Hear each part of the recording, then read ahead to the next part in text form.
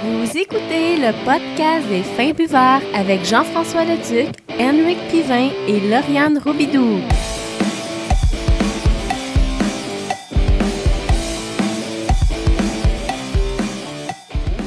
Bonjour tout le monde, bienvenue à cette 48e épisode du podcast des fins buveurs. Je me nomme Jean-François Leduc à mes côtés, Lauriane.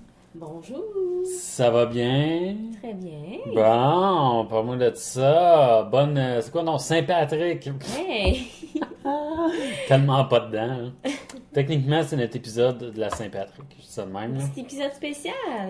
Pas vraiment. Ben, j'ai essayé de prendre la dégustation puis de le faire un, Un peu un parallèle.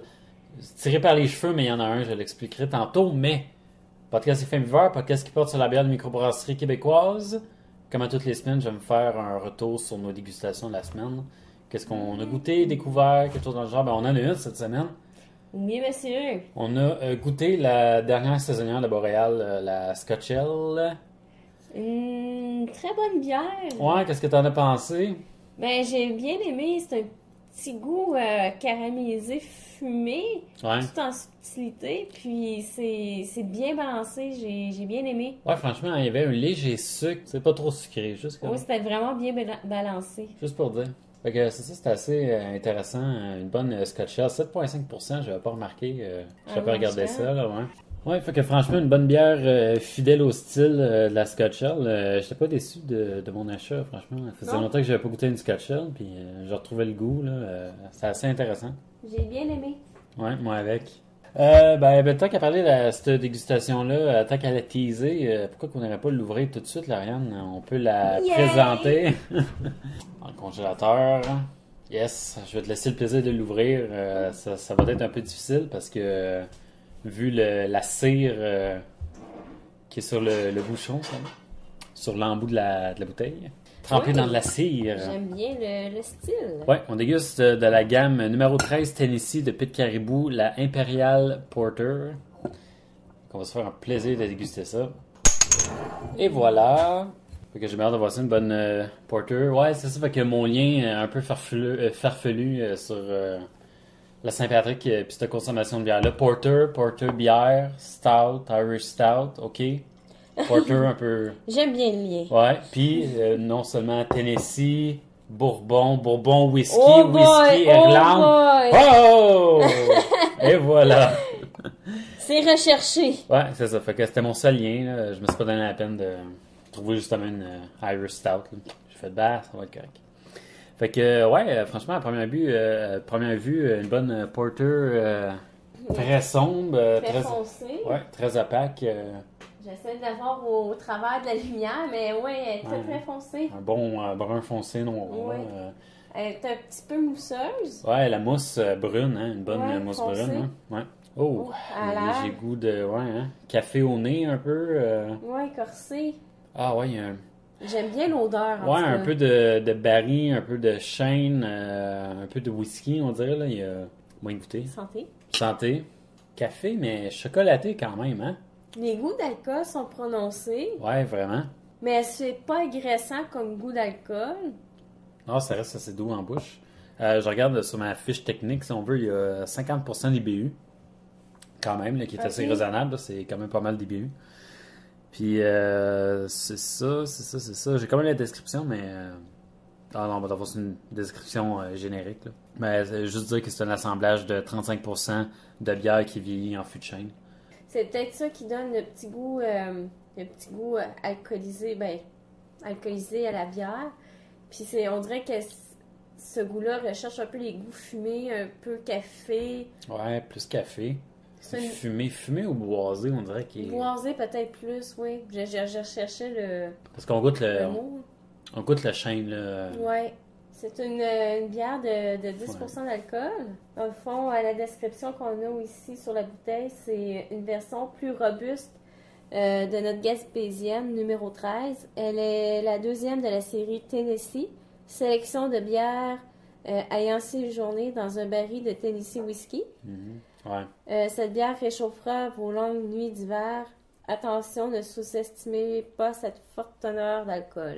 Ouais, c'est ça. Bref, euh, on est bientôt le printemps. Avec la température de moins quelques ces Yes. temps-ci encore, euh, oui, ça nous réchauffe nos hivers et Ouais, même peut-être nos printemps qui tardent à venir. Mhm. Ouais, ben, il y a vraiment un goût de, de whisky, ben, de, de bourbon, je devrais dire, en bouche, euh, qui laisse en bouche. Là. Oui, C'est pas une amertume, c'est comme un. Le, le fort, ben le, le goût que je euh, recherchais de l'alcool, c'est peut-être le whisky un peu... euh, Mhm. qui- Du fort. qui- ouais, du fort qui donne euh, le goût à la bière, puis c'est- agréable en bouche. Ouais, c'est spécial quand même. hein. Mélange euh, café boisé, bourbon. Est-ce que c'est écrit quelle sorte de, de blé ou de céréales qu'ils utilisent? Euh, non, les types, euh, c'est pas marqué moi. Tout ce que j'ai, c'est la définition. euh, la numéro 13, c'est ici, est une version plus robuste que notre Ah, c'est la gaspésienne numéro mienne, 13. ouais. Exactement ça. Nommée en l'honneur des berges de pêche d'autrefois, cette bière réchauffera vos longues nuits d'hiver. Et voilà. ah, franchement, c'est bon. Il y a beaucoup de subtilité à la bière. là. Il, y a, il y a beaucoup de paliers de saveurs. Ouais, à chaque gorgée, on dirait que je recherche un autre, une autre saveur. Au nez, c'est pas nécessairement le goût de la bière non plus. J'avais plus de café au nez. Ben, ouais.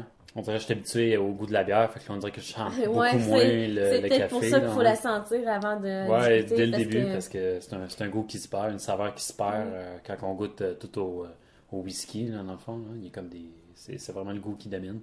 C'est- mais c'est pas aussi.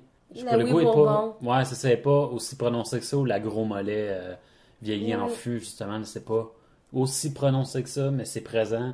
Puis euh, il y a quand même le goût en mélangé, bouche. ouais. C'est mélangé avec d'autres saveurs. Que c'est pour Ouais, ça qu'à chaque, à chaque gorgeon, on dirait qu'on découvre euh, Mhm. de nouveaux goûts. Ouais. Et j'aime bien. Ouais, ça, c'est vraiment douce quand même. là. Euh, c'est en douceur. Il faut vraiment goûter, aimer le goût euh, du bourbon, justement, parce que ça va rester en bouche. Là, puis, euh, Mm. quand tes papilles s'habituent à ce goût-là, on dirait qu'il n'y a plus rien d'autre qui goûte. C'est que ça. Good, ben, crème. euh, Merci bien pour la découverte. Ah ouais, c'est Euh, pas pire pantoute. Bonne Saint-Patrick. Oui, bonne Saint-Patrick. Et voilà, mon lien avec le Saint-Patrick. Si tu veux, Lauriane, je vais euh, poursuivre avec qu'est-ce qui se brasse, euh, parce que c'est un lien direct avec justement notre dégustation. Oui, Euh, parce qu'il y a Pete Caribou, justement, qui euh, présentait la nouvelle bière de leur gamme, numéro 13, Tennessee, celle qu'on est après boire là. Là, on boit une Imperial Porter. Puis, euh, justement, là, ils vont sortir une robuste Porter qui vieillit 8 mois en baril de whisky. Euh, note de vanille avec une touche acidulée pour euh, assécher le palais. 7% d'alcool. Avec une bière Que ça sèche. suive, ouais, une bière euh, sèche. Mais quand même vieillie en- avec des notes de vanille. euh. Ça doit avoir Vieilli un en petit baril. goût euh, différent. Ouais, c'est ça, ça doit être euh, assez spécial, un petit peu plus vanillé. J'ai l'impression que ça risque de goûter un petit peu plus le whisky, celle-là, Hum, que, que celle qu'on goûte là. Parce que le côté porter, le, le côté café, un peu comme. Ressort un peu crémeuse, plus, ouais. Ouais, c'est ça, est quand même assez présent, mais ça, j'ai l'impression que ça va être plus peut-être une brune. Juste ce feeling-là, je sais pas. À suivre, il faudra écouter. Ouais, ça, c'est à suivre. Surtout que si ça reste une porter, ben, ça risque d'être pas mal noir, là. Brun, pas foncé noir. Fait que... fait que ça va être à goûter, je pense. euh, si je me fie à ce qu'on vient de goûter euh, de la gamme numéro 13 de TLC, de Caribou. Sinon, ben, short and sweet, Lariane, on y va tout de suite avec euh, les nouvelles. J'en ai deux cette semaine, pas trois. Oh, oh. Ouais, quand même. Mais inquiète pas, c'est deux bonnes. déçue. Non, c'est deux bonnes, Oh, inquiète oh, pas. ok. Si c'est deux bonnes de qualité, Ouais, c'est mieux que trois moindres. ouais, que j'essaie de trouver n'importe quoi puis que je finis par dire n'importe quoi. Non, Ce, ce, ce soir, tu es sage. Ouais, c'est ça. Surtout que, ben, euh, dans, comment que je pourrais dire ça? Si je parle de l'envers du décor, là, on podcast un jeudi au lieu d'un vendredi. Fait que je sais pas s'il va se passer quelque chose de spécial demain, qui est habituellement la journée du podcast. Je sais pas si je vais manquer une nouvelle, mais c'est pas grave. Deux nouvelles. Ça attendra la semaine prochaine. Ça, c'est, voilà. Euh, première nouvelle, euh, euh, article dans le Devoir qui s'intitule Le Verdun s'ouvre à l'alcool. Article dans le Devoir qui annonce la venue de distribution de permis de bar dans certains secteurs de l'arrondissement en avril. Ça peut paraître bizarre. Mais pour quelle raison? Et voilà. J'ai comme une ligne de temps, tu vas comprendre, ok? Tu vas comprendre la situation en Verdun, à Verdun. Euh, 1875, dans sa con- euh, constitution, euh, la ville de Verdun applique la loi sur la tempérance, soit une, prohibition, une prohibition complète de la vente d'alcool. Mon Dieu. Et voilà. Hey, ça, re- ça remonte à loin, là, qui n'avaient pas trop le droit de boire de l'alcool, puis c'est interdit, là. Ouais, c'est ça. Mon Dieu. Fait que ça l'a pris jusqu'en 96 pour que le règlement change. Le règlement est abrogé pour autoriser les restaurants à vendre de l'alcool aux clients consommant un repas seulement. même les restaurants n'avaient pas le droit de vendre Ouais, non, c'est ça. l'alcool. Avant, c'était... Avant 96. ouais, exact. Oh my Spécial, god, ouais. Hey, c'est c'est quelque chose. Vieille règle, 2011. Une nouvelle modification permet l'ouverture de microbrasseries vendant uniquement leur bière.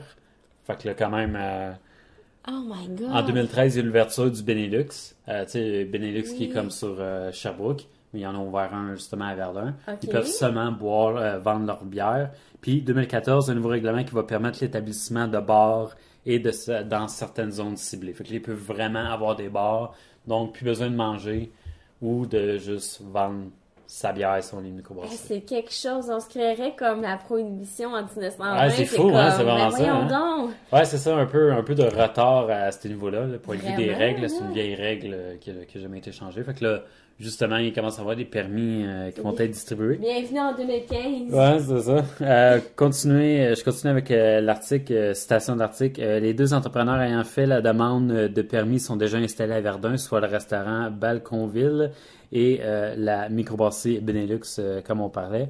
Euh, grâce au euh, permis de bar, le Balconville n'aura plus besoin d'obliger les euh, clients à manger lorsqu'ils veulent prendre un verre, tandis que le Benelux actuel actuellement euh, limité à la vente de produits issus de sa propre production de bière, pourra offrir une plus grande gamme de produits alcoolisés. Donc, je sais pas s'ils vendent fort, rhum ou quoi que ce soit, ben, maintenant, ils vont pouvoir. bières de microbrasserie. Ouais, c'est ça, j'ai l'impression euh, des, des bières euh, de d'autres microbrasseries, ouais, c'est ça, des tap takeover, comme on dit, ou ben, tu sais, juste comme des, des bières invitées ou quoi que ce soit. Là. Quelque chose de ce genre, fait que le plus de gamme de bières, distribution de, de bars, fait qu'il risque d'avoir une grosse, euh, forte demande de- d'ouverture de, bars. euh, Je lisais, je faisais l'article, ça me faisait un peu rire, parce que c'est seulement sur la, la rue Wellington où c'est que c'est autorisé, dans c'est comme le boulevard de Verdun, dans fond. Ok. Mais le truc, c'est qu'il y a déjà plein de boutiques, puis il n'y a plus de place. Fait que, tu sais, oui, ok, ils veulent beaucoup de bars, mais là. Fermez vos magasins. c'est là, faut qu'ils attendent, là. Fait que. Oh my god. C'était comme une loi à, double tranchant. C'est comme, Mm. ok, c'est le fun, mais à ce temps, trouvez-vous de la place. là. Faites des deuxièmes étages. Ou... Ouais, c'est ça, c'est encore des vieilles règles, puis il y en a encore d'autres, des, des vieilles règles, mais euh, au sens plus large, c'est que, tu sais, comme des, des microbrasseries ne peuvent pas, comme, embouteiller, ben, c'est-à-dire vendre, comme boire sur place, puis vendre, c'est la différence entre brewpub, Ah, ok. puis euh, bar, puis microbrasserie, tu sais, comme toutes ces définitions-là, là, tu sais, des fois, une microbrasserie, s'ils n'embouteillent pas, peut ils vendre vendent sur place, mais on peut pas en amener à la maison en bouteille. Il y a beaucoup de règles qui sont euh, à changer, donc euh, une de moins désuète euh, au Tant Québec. mieux. Ouais. Ça peut juste Tant- faire du bien. Ouais, tant mieux à Verdun, là. Ouais, c'est clair. fin de la première nouvelle, Lauriane. Et la dernière. Attention. Là, ok, je vais. Ok. Ça, c'est de la nouvelle, Lauriane. Assez intéressant parce que euh, ça va. Ça va peut-être te rappeler quelque chose qu'on a déjà auparavant. J'y vais. non, non, non, c'est quelque chose de Ok, positif. phew. Ben voyons! Brasseur de l'Outaouais. J'en parlais la semaine passée. Euh, nouvelle euh, brasserie en Outaouais, justement, qui vont faire comme la, la distribution de la production de leur bière, distribution de leur bière. Mhm. Euh, c'est comme les trois mousquetaires, un peu là. C'est pas un bar, c'est vraiment une brasserie qui embouteille, qui distribue. Ok. Euh, il lance une campagne de financement Indiegogo. Indiegogo, c'est quoi, Dariane? Pla- Hein? C'est pas un peu comme. euh, Kickstarter? Ouais. Ouais, ben c'est exactement ça. C'est une plateforme de financement où monsieur, madame, tout le monde peut donner de l'argent, des dons, euh, joindre certains paliers, puis euh, recevoir quelque chose en retour, mais aider justement au financement d'un projet.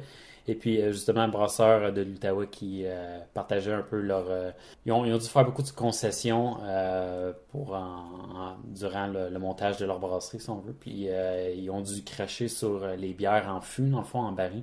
Ok. Euh, fait euh, il était seulement limité à vendre en bouteille, tu sais, empaqueté en bouteille puis tout le kit. Ah, ouais. Les autres, on ça un peu triste parce que, tu sais, en fût, le produit, là, Il il, est frais. Ah, c'est ça, tu sais, la, la fraîcheur, c'est incomparable. C'est que quelque chose embouteillé puis vendu deux semaines plus tard, c'est différent.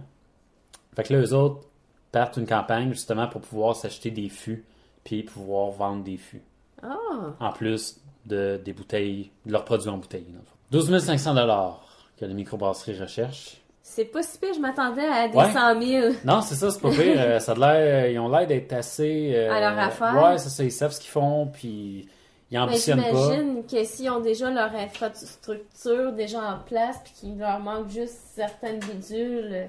Ouais, ben c'est ça, son, son trait, euh, il ça parce que tu ont fait un, vidéo, il faut aller sur euh, le site d'Indiegogo. Ben, en tout cas, je vais, je vais le plugger à, la fin, mais euh, il y a justement une espèce de vidéo euh, de description du projet, là, puis justement, qui font un peu le tour de la bâtisse, puis qui disent justement qu'ils ont toutes, tout, ça s'en vient super bien de, de ce côté-là, puis ils ont déjà une idée des produits, toute l'équipe, puis ils montraient comme l'établissement, les cuves, tout, l'équipement, dans le fond, là, sont, sont prêts, mais c'est juste qu'ils ont dû cracher sur le fait de, ok, on pourra pas faire des fûts, dans le fond. Je trouvais ça un peu triste. Fait que justement, ils offrent euh, cette campagne-là pour euh, pouvoir euh, les aider un peu. Fait que euh, ça, je disais oui, c'est pas que mal c'est un peu comme Kickstarter où ce qu'ils offrent euh, à certains paliers de dons? euh, Oh que oui, madame. Oh, j'ai l'impression qu'ils t'ont cherché. Ben, c'est parce que, regarde, je vais faire le parallèle. Je sais pas si tu te rappelles de Glutenberg, ouais. qui ont fait une campagne in- Indiegogo pareil. Oui, je me souviens. Pour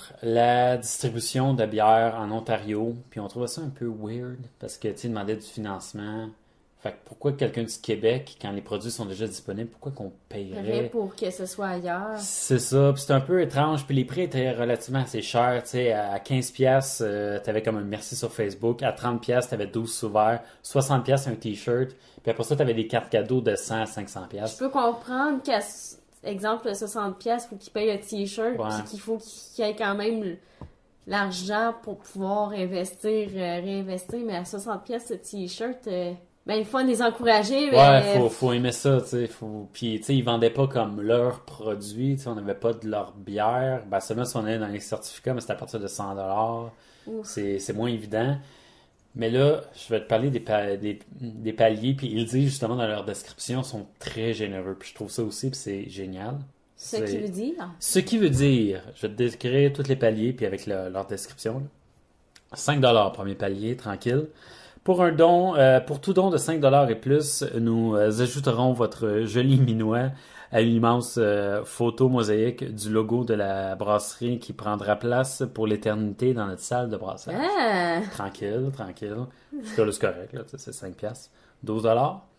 Attends Euh, une minute ils ont pas dit la grosseur de la photo de la mosaïque là Ouais, c'est est-ce que notre photo c'est comme une petite photo passeport ou c'est plus petit ou c'est plus gros là? Ouais, j'avoue, hein, il n'y a pas vraiment de détails là-dessus. Euh, c'est une bonne question, faut leur demander, je pense.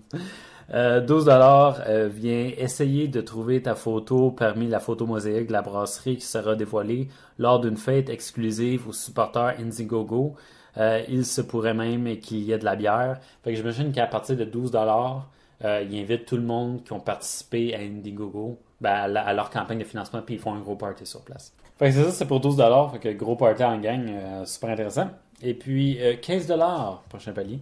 Pour 15 dollars ou 3 billets de 5, parce que j'ai l'impression que euh, tu peux te mettre plusieurs pour payer. C'est ça que c'est un Ah. peu moins clair, les, les billets, mais euh, vous obtenez une des premières 200 caisses de 6 qui sortira de la ligne d'embouteillage. Un questionnaire en ligne sera envoyé aux supporters, leur demandant de choisir la bière qui, vont, qui passera à l'histoire, genre la première brassée, ils vont vouloir quel genre de bière. Euh, chacune des caisses sera autographiée par les fondateurs et numérotée à ramasser à la boutique euh, et à la brasserie. Euh, puis, ouais, ouais, c'est ça. Fait que, 15 pièces t'as une caisse de 6 ouais, t'as une caisse de 6, ce qui est pas mal le prix d'une Ben, dizaine de piastres, là. C'est ça, c'est à peu près 10 pièces pour une caisse de 6 Ouais. Pour fait- 5 pièces de plus, C'est euh, ça. tu l'as autographié, là. Ouais, puis t'as un party, puis t'as la chance d'aller au party en même temps si t'es supporter. Fait C'est... euh, tu vas te faire péter à payer la traite, euh, justement, tu sur je place, compare, là. euh, je compare avec le 15 pièces de Glutenberg où ce que c'était juste merci sur Facebook. un petit merci, c'est bien, c'est une belle Ouais, pensée, gentil, mais c'est c'est c'est pas une caisse de 6. C'est modeste, là, sais, c'est ça. Tu goûtes pas au produit en bout de ligne. Non, c'est ça. Ils te vendent pas comme la bière, tu sais, ou C'est le- l'endroit. une, ou, une bouteille, là. Ouais, c'est clair. Euh, 20 dollars, 20 ou 4 billets de 5 piastres pour obtenir euh, une des euh, 20 caisses. Euh, même chose. Y a-t-il une différence? Non, autographie, numérotée. Euh, non, non, non, non, non, non, non, c'est le, c'est le même truc. Ça, c'est accès au party. Euh, la boutique de la brasserie, ouais, c'est ça, exactement le, le même truc dans le fond. Euh, 30 dollars via la magie de l'internet, vous passerez 90 minutes en compagnie de notre maître brasseur lors d'une causerie sur les accords bière et fromage. Ah, c'est Ouais, bien. sur Skype. Là, tu sais. Histoire d'en savoir un petit peu plus euh, sur l'accompagnement bière-fromage. Assez intéressant. Peut-être sur place aussi. Ouais, j'imagine moyen de s'arranger. Mais il dit sur Internet, fait. que, Je sais ok, pas, ouais. en chat, hein, je sais ok, ouais, j'avoue, avec la magie de l'Internet. Ouais, c'est ça, sur Skype. En tout cas, peu importe. Euh, 40 dollars, là où comment, euh, là, là, on commence à parler. J'aime ça, ils ont sens de l'humour. Genre, tu vois partout, puis même dans leur description, genre, de leur projet, là, c'était assez drôle. Euh, pour deux billes de vin, on met ta face sur le mur de la brasserie, puis c'est vraiment marqué de même, juste comme ça. Euh, on t'invite au party des supporters Indiegogo et te donne un six-pack de ton choix, euh, tant que c'est nous qui le brassons, oui. Euh, on te donne 6 ouverts et un t-shirt exclusif aux supporters Indiegogo à ramasser au party des supporters ou à la brasserie. On s'entend-tu que pour 60$, piastres, t'avais un t-shirt pour Cleveland Park, là, t'as 40$, piastres, t'as un t-shirt, Ouais. une case de Ouvert. souvent, le kit au complet, Mm. là. Puis le party. 120 Là, on commence à être hot, là. Je te dis ça de même, là. Parce qu'attends, tu vas voir les autres, les deux derniers prix, là. C'est intense. Je te dis ça de même. Euh, euh, 120 Juste, juste de Ouais. même, est-ce que tu, si tu donnes 12 000 piastres, c'est comme la bâtisse, là, pour, euh, pour euh, les- l'embouteillage de... Non, ben, il y a euh, 600 après ça, puis 1000, mais tu vas comprendre. OK. Euh, 120 dollars, tout le contenu du kit des supporters avec un gros euh, bonnet, la chance de venir passer une journée à la brasserie, de brasser la bière de ton choix parmi notre sélection saisonnière. Donc, dans le fond, c'est comme un cours de brassage privé, si on veut. Puis, ce que j'aime, euh, c'est, ok, oui, après ça, tu peux repartir avec un fût de 20 litres. Fait que 20 d'eau- litres de bière. 20 litres, ouais. Et puis, euh, du produit fini pour impressionner tes amis lors d'une fête de ton choix. Sérieux, oui, là. Ouais, c'est ça.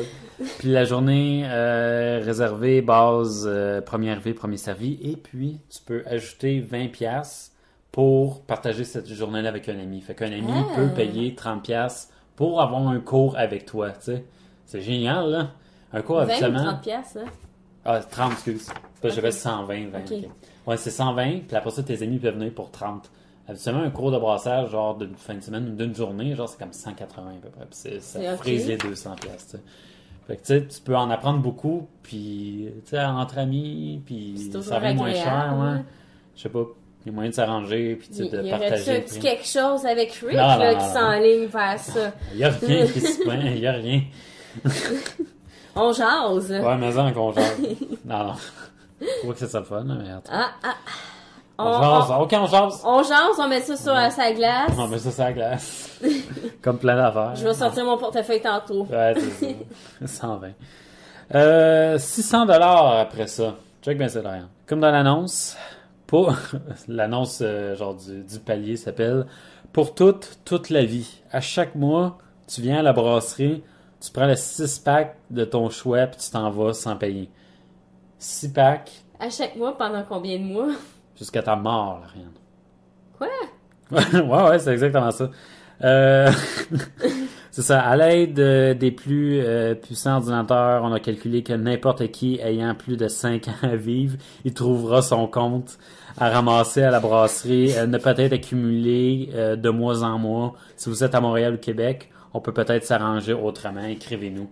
Fait que t'as un 6 pack par mois. Avant que t'aies une maladie de foie comme la cirrhose. Ouais, fait que si t'as la cirrhose, c'est peut-être moins de 5 ans à vivre. Fait que... C'est ça. On mais- checkera, on checkera le deal qu'on a avec ça, là. Mais c'est 100 pièces puis t'as un 6 pack à vie, À vie par, par mois. mois. Quand même cool, là, tu sais. J'espère qu'elle est bonne, pis que- tu l'aimes à 600 pièces de bière. là. 1000 dollars, là. Hey, J'espère qu'ils sont ouverts pour euh, rester ouverts des Ouais, ben années, c'est ça, là. j'étais après me dire, imagine, ils ferment, ou tu sais, que, ben, ça, Deux- ça devrait là, pas, je, là, mais. je, je, je leur souhaite pas Non, plus, ça. mais tu sais, imagine qu'ils ferment genre dans 5 ans, t'es comme... oh. C'est ça, t'imagines? Mais en tout cas, je, je leur souhaite pas de fermer, puis je leur souhaite de, de prospérer pendant Ah, des années encore. C'est clair, là, c'est clair. Puis, euh, dernier palier, Lauriane, 1000 dollars. Oui, oui, encore une fois, à vie. Au lieu d'un 6 pack par mois, tu obtiens deux superbes mini-fûts en inox de ton choix, c'est-à-dire près de 4 litres de bière par mois. En inox, pis tout. Ouais, en inox, ça, imagine. Wow. T'as comme le, le baril là, de, de 4 litres. Euh, mais ce n'est pas tout. Euh, en, en plus, euh, on te donne un système de service de CO2 qui te permettra euh, d'avoir, ouais, c'est ça, de la bière pression dans ton frigo, sur la terrasse ou dans ton pédalo. on te donne même le CO2. On est tombé la tête. Il marque ça sur tes carrés. C'est malade, là.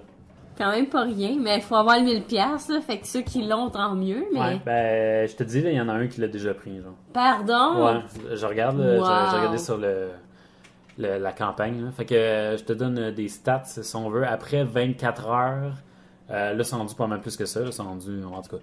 Le, le premier 24 heures, ils ont amassé 2885 dollars. Ah, quand même. Ouais, 23% de leur euh, En campagne. une journée, là, c'est Puis, fou. ouais, 20 contributions. Fait, Aujourd'hui, il était à 3500, peut-être. Ça, ça monte, ça monte, hein? Ouais, c'est ça. Euh, Et puis, ouais, c'est ça. J'ai, je l'avais marqué, là. Ouais, c'est ça. 3525, puis il reste 29 jours, ça vient de commencer. là. Wow, ok, je Fait que, euh, J'ai pas peur qu'ils vont te taper, là. ouais, il y a bien des 10 000. chances, puis ça vaut la peine. là. Fait que, tu sais, t'as vraiment quelque chose en retour. Tu Ouais, donnes, mais t'as quelque c'est chose en c'est agréable de savoir, moi, que tu vas recevoir quelque chose de cool à la fin. C'est ça. Puis il y a aussi le maître brasseur qui a euh, justement posté sur notre. euh, il, avait- il nous a envoyé un message sur notre Ah! post euh, Facebook, justement, vu qu'on a comme sharé la nouvelle, on a partagé la nouvelle, euh, qui dit justement que la campagne figure déjà parmi les projets tendances euh, parmi des milliers de campagnes sur le site, qui est un exploit pour un projet francophone. Fait Ah, était sur la page, euh, sur la page principale. Payer pantoute, hein? Fait que pour plus d'informations, indiegogo.com slash projet au pluriel slash appuyons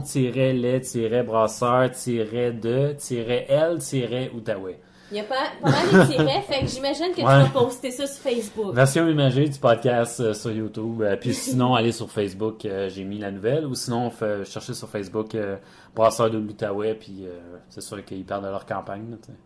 C'est comme pas mal un événement espérer. à souligner. Fait que j'ai comme poigné ça deux autres. Fait c'est là. J'imagine que c'est de bonnes sources. Ouais, c'est ça. Il n'y a pas de menterie là-dedans. bon, good. Ben, écoute, euh, Lauriane, euh, c'est la fin au podcast. Euh, Comment trouves-tu cette bière de qualité? ah, euh, très bonne. Il m'en reste plus beaucoup, euh, franchement. Ça se boit vite. euh, Elle a vraiment un petit goût euh, café sucré. café. Café. sucré. Ah, c'est bizarre. On dirait Euh, que la on- bière. elle s'est comme un peu réchauffée là, depuis, depuis tantôt Ouais. qu'on se parle. Puis elle a un petit goût. En se réchauffant, on goûte plus le café. Je sais pas si c'est. Ouais, plus bizarre. le café, puis elle a un petit goût sucré. Je sais pas si c'est Hein? comme les, les saveurs de l'alcool qui, qui sont Ouais, un c'est peu. ça. euh, Le là, le côté euh, un petit peu plus euh, boisé sucré euh, du, du bourbon. Euh. Fait qu'on goûte des saveurs, même si ça se réchauffe un peu. Ouais, toujours très bon, hein, franchement. Ah ouais, ça veut pas dire qu'elle est mauvaise, euh, pas du tout. Euh, on dirait qu'elle est Ouais. de plus en plus meilleure, même, justement. euh, J'adore vraiment une belle découverte. euh, Ouais. Je suis pas déçu. Je suis pas déçu. À découvrir. euh, Ben, sinon, euh, Lauriane, euh, c'est le mot de la fin. Fait que. euh, Dis-moi les règles. Ouais, ben, attends une minute, euh, juste avant, je disais que euh, on, euh, si vous voulez vous tenir au courant du Non, moi, je veux podcast. savoir les règles, Ah, je m'en fous. Ah. Je veux savoir les règles. Non, non, vas-y. Euh, pour euh, vous tenir au courant avec le podcast, vous pouvez aller sur euh, femivore.com, femivors.s.com pour euh, tout ce qui est réseaux sociaux, là, sont tous là, Instagram, Facebook, euh, Twitter, euh, YouTube, pour la version imagée du podcast, justement. Marquez Fembiveur et puis euh, on est très disponible. Gênez-vous pas non plus à nous dire des commentaires, des questionnements, des Ouais, nouveautés que vous ça. avez goûtées et que vous avez appréciées. Participer aux articles euh, qu'on euh, Ah oui, qu'on partage. On veut de vos nouvelles, puis on est toujours euh, ouvert à ça, puis toujours agréable euh, d'avoir de vos commentaires et de vos messages. On aime ça vous lire, Yes. Règle numéro 1, Lauriane, faut toujours garder le contrôle. toujours. Règle numéro 2, pas de gaspillage. Oh boy! Non. Inquiète-toi pas qu'il n'y en aura pas. Non, il n'y en aura pas à soir. Puis, règle numéro 3, Lauriane, N'incitez personne à la consommation. respect de la consommation d'alcool de tous et chacun. Merci beaucoup, Lauriane. C'est pour ça qu'à soir, je vais être ça. Non. Non. Merci beaucoup, Lauriane, de ta participation. Ça fut fort plaisant. On se dit à la prochaine. Merci bien. Bye bye tout le monde. Bonne Eh soirée. ben, ça fait plaisir. Bye bye. Bye bye.